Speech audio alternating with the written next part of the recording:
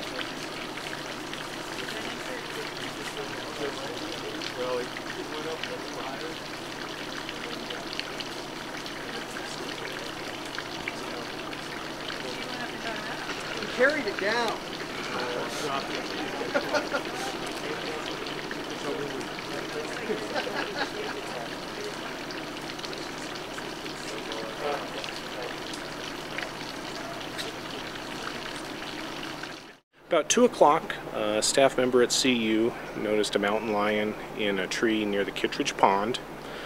Police officers responded, secured the area, and waited for uh, open space rangers to come. The rangers were able to tranquilize the mountain lion.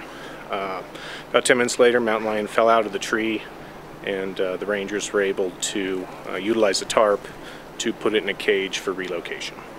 So this is pretty unusual for a mountain lion to come down into Kittredge, wouldn't you say? It is. Um, you know, a time or two a year we end up with sightings of bears or mountain lions, but it is uh, an unusual occurrence for us here. Uh, there were some students that were near the pond that we were able to get into the buildings where they watched from inside the windows.